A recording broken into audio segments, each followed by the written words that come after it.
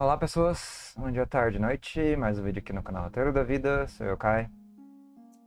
Bem, eu tô meio desconfortável com esse novo formato por causa da, webcam, tá?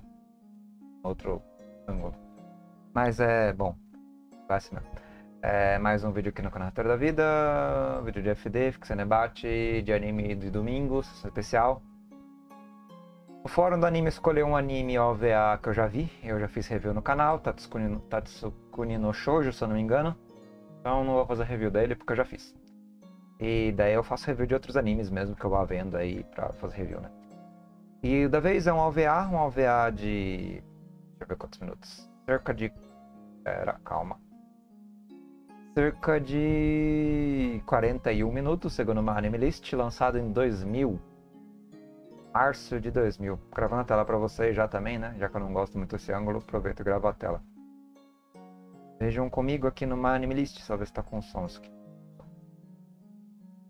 Temos aqui esse anime, Karakuri no Kimi, também entendido em inglês como Puppeto Princess. Puppeto de marionete, né? A princesa marionete, princesa das marionetes. É um OVA baseado nessa obra aqui, né? Eu acho que é um mangá, se não me engano. É um mangá de um volume único, seis capítulos, feito em 88 até 94. Caraca! Demorou seis anos para publicar um, um volume de seis capítulos. O cara fez isso aqui na, no tempo livre do tempo livre, literalmente. E esse mangazinho aqui, bem singelo, né? Não sei, o pessoal parece que tem mixes feelings alguns recomendam. Ele é bem sucinto mesmo, né? E a adaptação dele eu não sei se adapta inteiro, estão seis capítulos aqui, né? Pra você poder dar uma olhada. E a história de uma princesa, é princesa mesmo, tá? O pai dela era um daimyo, é um daimyo que por um acaso se viciou em tecnologia europeia de relojoaria de é bem steampunk, tá? Engrenagem e tal, bem relojoaria. E esse cara ele começou a criar marionetes. Ele chegou numa tecnologia que ele desenvolveu que era marionetes movidas automaticamente, com vida própria. Essa tecnologia usava pele de crianças para fazer os nervos e o sistema nervoso das marionetes. Ele começou a arrancar a pele das crianças, da costa das crianças, escalpelar crianças para fazer marionetes autômatas. Esse cara é o rei que fez com a filha dele. A filha dele, no caso, que é uma das que viraram cobaia para esse rei, que é a Hangiko, Hangiko Ayawatari, Ayawatari Hangiko. Ela odeia a tradição do pai. O pai, por sua vez, é caçado por um daimyo, o tal de Sadayoshi. Sadayoshi ele invade o reino do pai dela. Era um reino bem localizado, né? E um tanto quanto escondido, então não tinha muito problema com guerra. Mas esse cara vai lá por causa das marionetes, invade o reino dele, genocida com geral, mata o rei, mata o exército, a princesa sobrevive, tá? Ele é típico anos 80, apesar de ser um anime 2000, é um OVA dos anos 2000, ele é tipicamente oitentista, como você vê nessa imagem aqui. Ele é gore, sanguinário e tem uma linguagem muito típica dos anos 80 apesar de ser adaptado nos anos 2000, começo dos anos 2000. Ele lembra aqueles OVAs do Ninja Slayer, é, umas coisas bem de época, né? Época no sentido de Hokuto no Ken, sangue, tripas e roteiros minimalistas. No caso, o roteiro desse anime, é a princesa, né? Ela carrega, é engraçado, é engraçado, ela carrega uma bagagem gigante, é legal. Ela carrega isso aqui nas costas. Parece duas geladeiras é, horizontais. Aqui estão os, os marionetes, as marionetes que ela controla. Ela controla três marionetes diferentes. E uma delas é esse cara aqui, essa marionete. Depois tem o guerreiro samurai vermelho e tem a marionete budista de um cara que parece um monge. Enfim, a história é de um ninja. Esse ninja é chamado de Yasoburo Manajiri. Manajiri ele é um ninja contratado, um ninja, ninja errante, né? Tipo um Ronin ninja. Ele é lendário, mas ele é um Ronin ninja. Ele foi contratado ali para servir junto com outros ninjas e descobrir as verdades sobre o reino do Sadayoshi, sobre o como ele estava fazendo as marionetes dele. Eles invadem o castelo, eles descobrem a verdade e eles fogem desesperadamente porque é insano o que está acontecendo lá dentro. E nessa fuga, eles são genocidados, incluindo o mestre dele, o superior imediato dele e os outros amigos dele. O Yasaburou sobrevive, porque ele é o ninja hábil das ilusões. Ele é o ninja da, da névoa, por assim dizer. E ele consegue sobreviver, ele tem habilidades de espada, habilidades de ninjutsu em geral. Ele é bem legal para um personagem qualquer de shonenzinho. É sei lá. Enfim, aí ele encontra um belo dia a princesa Rangyuko, Randiko, Randiko, Rangiko. E ela conta a história dela. Ela é bem bobinha, bem. Bem ingênua. Chegando a um ponto de ele vai estuprar ela, ela fala: ah, me coma, pode ter o que você quiser como recompensa. É meio assim. Ela é muito bobinha e tal. Mas ao mesmo tempo ela tem uma missão de vingança muito brutal que é destruir o passado dela e a, a herança do pai dela. Ela quer destruir a herança do pai dela. E a herança do pai dela são as marionetes, incluindo a tecnologia que o Sadayoshi dominou. E agora ele faz marionetes autômatas se movem sozinhas, com pele de criança. Ele começou a escalpelar a vila inteira. É, vilas e vilas. O cara é doente. Incluindo ele mesmo, ele se auto se torna um ciborgue barra marionete. Com a marionete que o pai da Rangiko, Rangiko fez. Ele se vira uma simbiose com essa marionete. E tem esse cara que é o ninja principal dele, que é o Head of the Deadless Ninjas. Não tem nome. O nome dele é Head of the Deadless Ninja. A cabeça dos ninjas mortais. É, que é o chefe dos ninjas do Sadayoshi. E por sua vez o Yasaburo, ou Manajiri, interagindo com a princesa em um OVA de 40 minutos, é, invadindo o castelo do Sadayoshi para destruir as marionetes autômatas, derrubar o déspota lazarento, que é o senhor feudal aqui, e a Arangiko, ela só quer se vingar do pai. E depois o, o Manajiri vira súdito dela, vira ninja da, da princesa. Lembrando que ela é uma princesa sem reino, porque o reino caiu. Então ela não tem povo, não tem súdito. Mas é bem legal como esse anime controla marionetes. Lembra muito aquele anime dos circos. Alguma coisa circos. Como é que é o nome daquele anime dos circos? Ah, esqueci. Que tem os caras que controlam também marionetes com os dedos e não sei o que lá. Ela tem um equipamento aqui que é uma tábua estranha com várias cordas. E ela usa os pés e as mãos, os 20 dedos para controlar as marionetes, incluindo o grande guerreiro vermelho. E são marionetes não autômatas, que são ela que controla, que dá vida para as marionetes. É fantasia, claro, né? 20 cordas controlando marionetes samurais que batem e matam, é fantasia. De todo modo, eu acho bem estiloso. Eu acho bem interessante.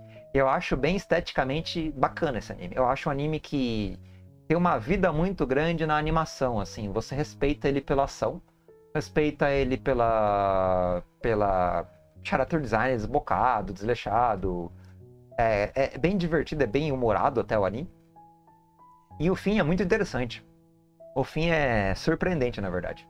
É, usando a habilidade do ninja junto com a habilidade da manipuladora de marionetes e tem um, uma batalha final, assim, um desfecho contra o vilão do dia, né? Contra o Sadayoshi lá. Bem legal. Bem legal. E mostra também o ápice da habilidade do ninja renegado, do ninja das sombras. O mago ninja, por assim dizer. E o cara é forte. O cara é ignorante também. É... e é uma obra bem, assim, descompromissada, tá ligado? Bem singela e bora lá. Kakuri Circus, lembra o nome dele? Kakuri Circus, que também lida com marionete, é bem interessante, só que aqui que tá o Kakuri Circus, né? Karakuri Circus, na verdade. Karakuri Circus recomendo, é divertido anime, mas claro, pelo estilo e não pela, pela direção. A direção é bagunçada. Mas é um anime interessante. É... A premissa é bizarra, mas o desenvolvimento dele é interessante. E esse anime aqui ele não é grande coisa também, na verdade. O Puppeto Princess é. Ou Karakuri no Kimi. Que é Karakuri é marionete, acho, né? O Círculo da Marionete aqui é a Princesa da Marionete. É, enfim. Eu gosto desse OVA de 40 minutos. Eu acho um OVA interessante, apesar de totalmente esquecível. Eu acho a estética e o desdobramento da, do heroísmo, ou rancor, na verdade, o rancor da protagonista é muito legal. O, o, o ninja é bem pescanteio mesmo, ele é só poderoso e tal, é tão poderoso ao ponto de ele ficar entediado. E ao mesmo tempo ele também não é tão poderoso que leva um pau do Sadayoshi, ele leva um, uma surra do Sadayoshi. É... De todo modo, a princesa é carismática pra caramba, mesmo sendo tonta e songa pra cacete. É, é, muito bonito isso, eu acho muito sexy o que ela faz. Quando ela vai controlar as marionetes sem, sem falar de anime, tá? Assim, mas eu acho sexy. É, ela pega, ergue assim a, a bainha da, da, da do, do, a, do, do, kimono, a bainha do kimono, as mangas, enfia os dedos ali, começa a mexer as pernas. Eu acho isso muito sexy. Sendo sincero, é bem sexy. É, mas voltando. É, eu achei bacana o anime em geral. É bem pontual, tá? É só o vilão do dia. E a destruição das marionetes do dia. E ela fica com o ninja no fim, porque as marionetes quebram todas. Ela sacrifica as marionetes de propósito. Tá? Ela, vingança mesmo contra o pai.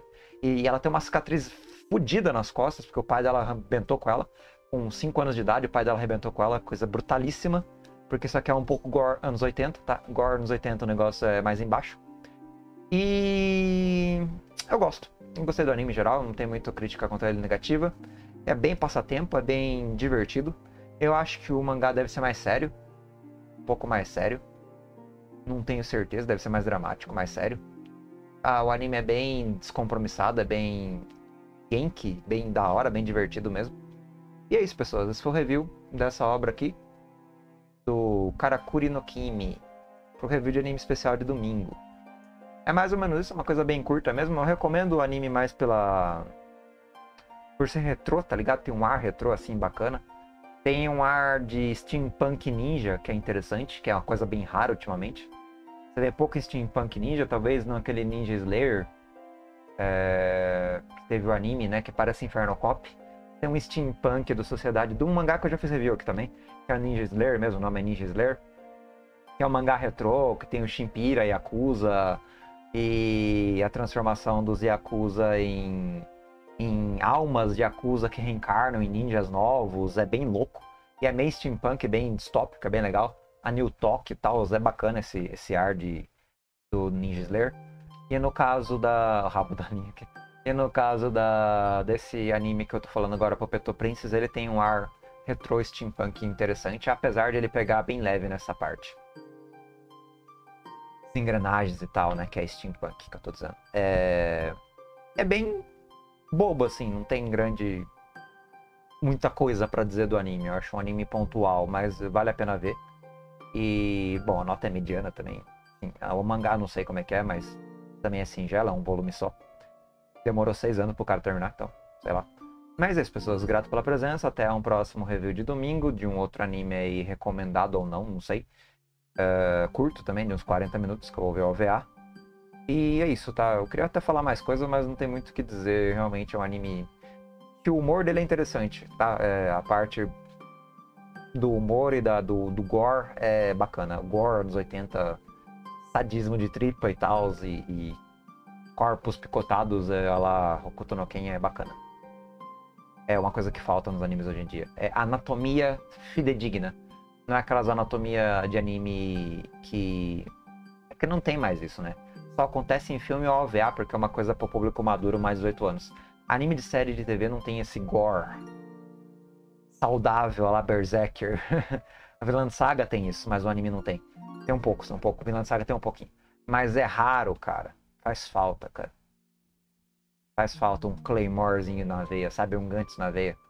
Faz falta umas cabeças voando pra lá e pra cá. Eu sei que você é meio doente de falar, mas é, anime tem essa, essa crueldade, brutalidade que eu gosto bastante, que é raro de achar em mídia de filme mesmo, né? Uma coisa bem típica de anime.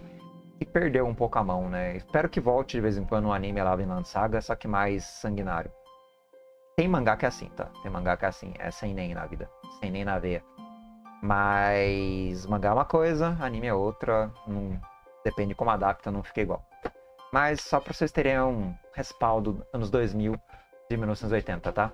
Com tripas e coisas expostas. Na verdade, o anime não expõe tanto quanto ah, expõe sim. A morte do vilão é legal. é bem legal. Bem, enfim, é, até mais aí, pessoas. Falou, obrigadão. Não rolei demais já. Até mais.